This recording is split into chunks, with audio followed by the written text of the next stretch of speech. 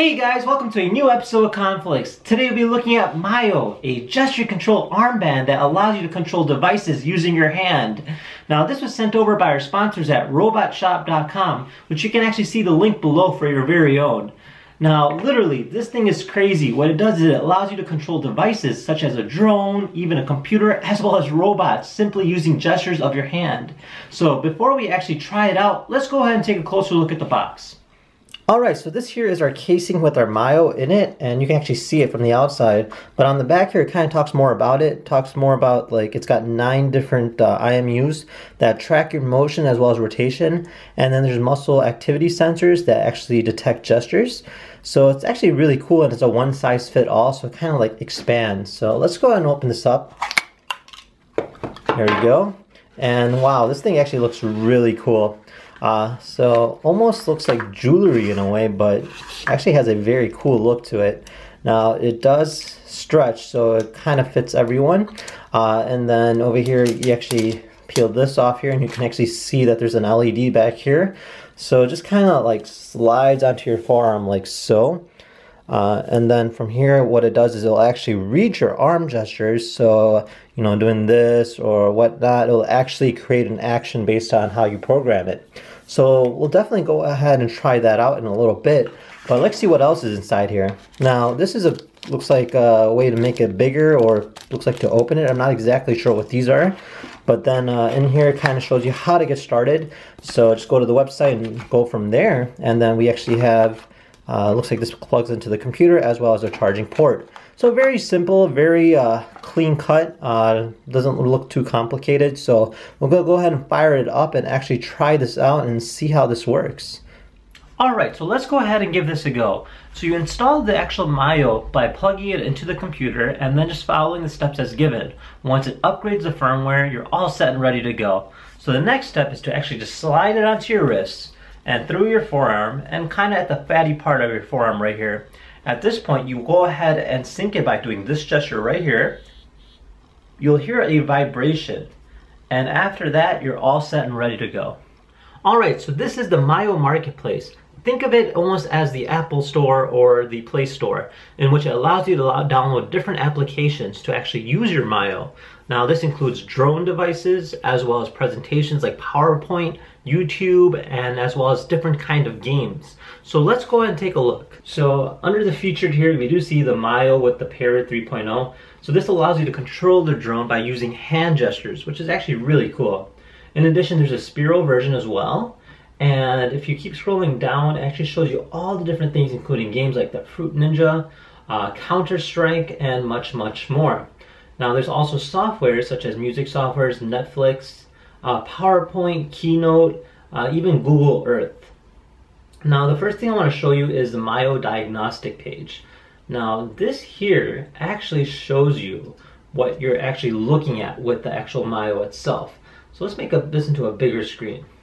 So over here, we get a good idea of what's exactly going on. So let's say if I do a flex, you'll actually see the different pods and how they react to it. And literally when I do different poses, you can actually see that as well. So let's go ahead and exit out of this and take a little bit closer look at the different apps. Alright, so this one is actually called Drunk Painting. So I've never played this game before, but from what I read about it, it's actually a two-player game in which both players actually have their own miles, and the key of the game is actually to paint as much as you can on the canvas itself. The player who gets the most wins. Okay, so... let's see painting begin! Alright, let's try this out. See if I can actually try painting something here. This is a very poor drawing of, I'm trying to actually paint a house right now.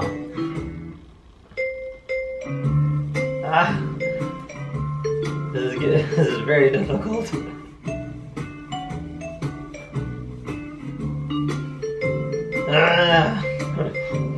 30 seconds remaining. Okay, I'll go ahead and draw a tree. Yep, that's the tree. the whole drunk aspect of it is actually showing. That's right, KhanFlicks. Uh, I cannot do that right now. Five seconds. Ah. Well, there you have it. That was the Drunk Painter game. Uh, very interesting indeed. So let's go ahead and try out another game. Alright, so we're going to go ahead and play a game called Aircraft Maniac. Um, literally the way it works is you kind of fly the plane by doing this. Uh, you just got to dodge obstacle courses. So let's go ahead and try this out. Now it says to double click uh, to start.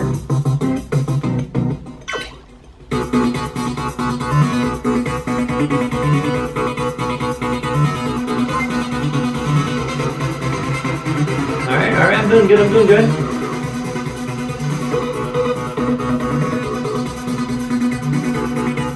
Ah! So the way it works is you're flying, and then if you do like a gesture, you can actually slow down the plane for a split second by doing this.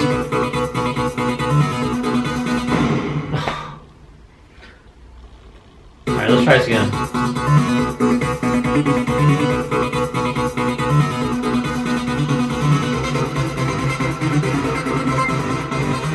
There we go.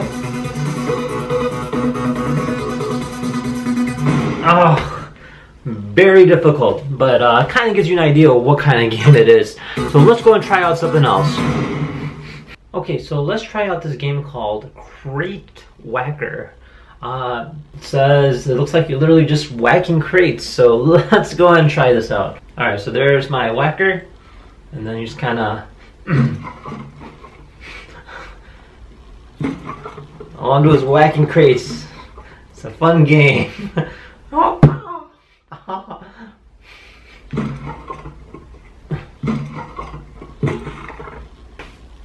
Yeah, so literally all you're doing is destroying crates. So uh, with that said, let's try out something a little different. Alright, so besides the games, there's actually a lot of cool things you can do with this, including presentations, as well as creating your own gestures.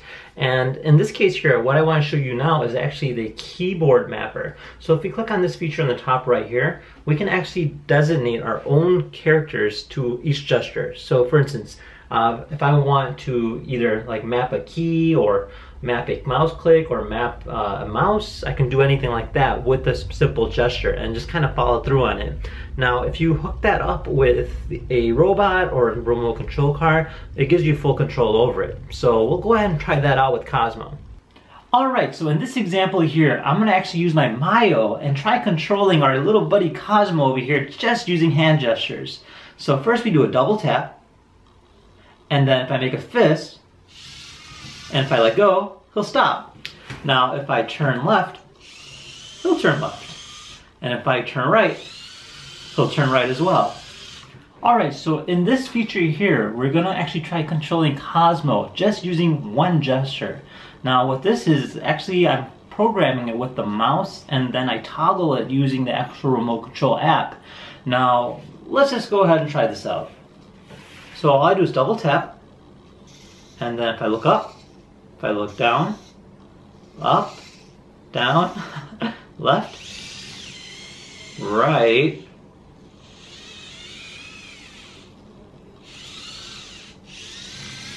pretty cool on how that works. So just a little bit of an idea on how it works is that you can actually do this with pretty much any robot, not just Cozmo.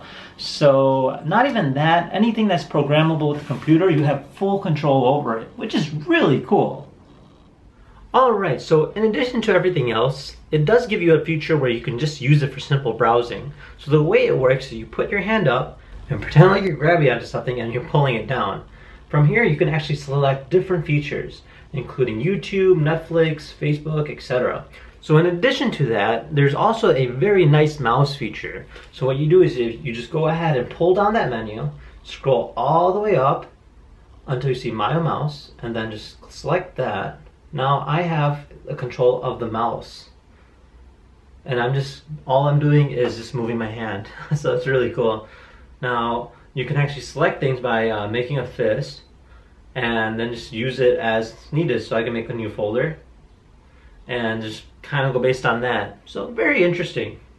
Alright, well that gives you an idea of what the Myo is about. It's actually a really cool product. Not to mention, it actually has a lot of potential. Kind of reminds me of the next keyboard or the next mouse. Now, if you guys had any questions about the Myo, feel free to comment down below. And if you actually wanted to purchase your very own, check out the link down below as well under robotshop.com. Thank you again for watching, and we'll see you next time. Bye bye.